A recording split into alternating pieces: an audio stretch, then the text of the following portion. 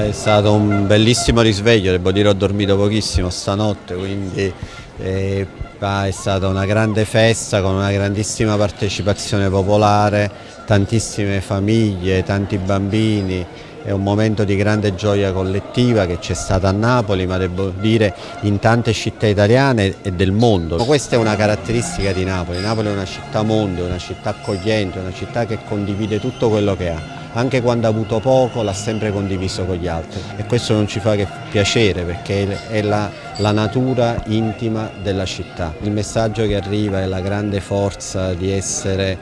parte di una grande comunità. La grande isola pedonale ha funzionato e questo ha garantito che diciamo, tanta gente a piedi, centinaia di migliaia di persone a piedi, il sistema dei trasporti ha retto, noi abbiamo portato alcuni correttivi rispetto a domenica scorsa che hanno, che hanno tenuto. Stamattina ci godiamo un poco dopo tanto lavoro, un momento di, diciamo, di pausa, però già si sta lavorando per domenica perché ieri è stata una festa un po' particolare uno stadio pieno senza la partita quindi, e anche senza la squadra, quindi penso che solo a Napoli si poteva fare una cosa del genere. Quindi domenica invece sarà la festa della città con la squadra, con i giocatori, con mister Spalletti, ma anche con tutto il grande staff, io voglio ricordare anche loro dai massaggiatori allo staff medico, a tutte le, che so, ci sono tanti napoletani che lavorano intorno al Napoli e quindi sarà il, modo, sarà il momento per ringraziare tutti per questo straordinario lavoro che hanno fatto e per dare loro l'abbraccio della città.